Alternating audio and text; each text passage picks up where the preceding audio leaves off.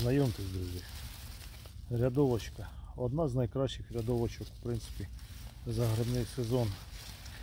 Називається вона рядовка тополева або підосинова рядовка.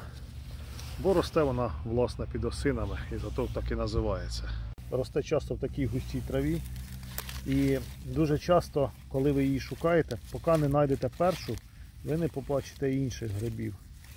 Вони дуже добре ховаються у траві, ну і зато їх дуже важко побачити.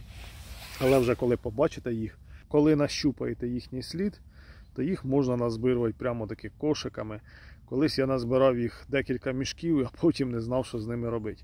Рядовка тополева е, має так само, як зеленушка, дуже часто набирає в собі багато піску в ребрах, тому її приходиться вимочувати. І, власне, і саме те вимочування сприяє виведенню невеликої кількості токсинів, які все ж таки в цій рядовці є.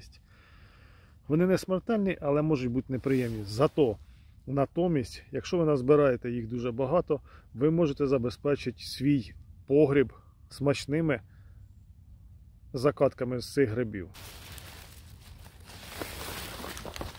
Рядовка тополова може виростати набагато більшого розміру, ніж оцей.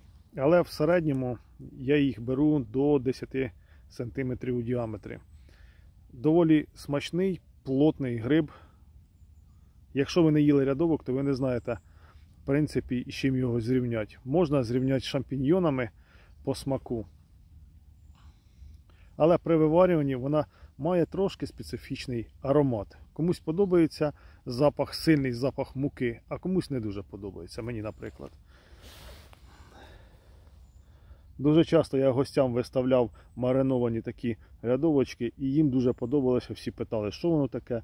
І в кінці кінці мені приходилося показувати, де вони ростуть, як їх збирати і як їх обробляти для того, щоб вони досягли результату баночки.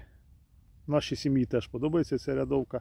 На жаль, в цьому році в мене немає можливості їх збирати, точніше не було. Знайшов можливість тільки вискочити до лісосмуги, в типову лісосмугу із осиками. І тут вони є. Всередині листопада їх ще можна знайти, але я думаю, що вони вже відходять масово.